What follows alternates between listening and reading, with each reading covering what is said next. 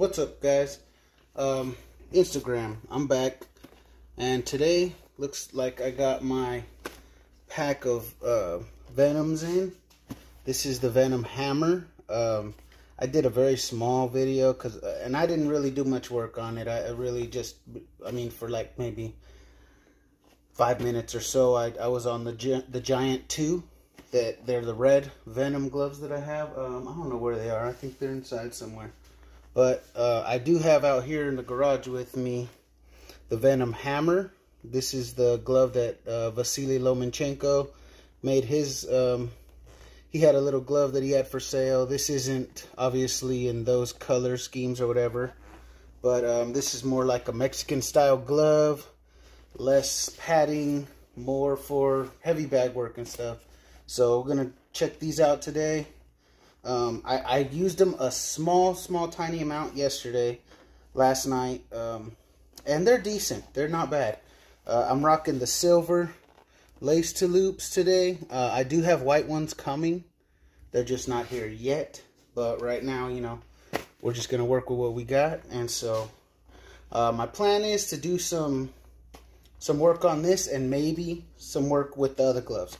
So I'm going to go ahead uh, get warmed up, get some of this work in, and I'll put a small, you know, I'll put, I'll put a small uh, uh, snippet of the hammer gloves, which will be these ones that have the Venom written on them like this. And then the other gloves, I'll probably do a small snippet. They're called the Shield. So these are the hammer, obviously for punching. And the other ones are called the Shield. Those ones are more uh, for comfort of the hands. So uh, I'm gonna go ahead and get warmed up and get some of this work in and I'll throw some snippets in here for you guys.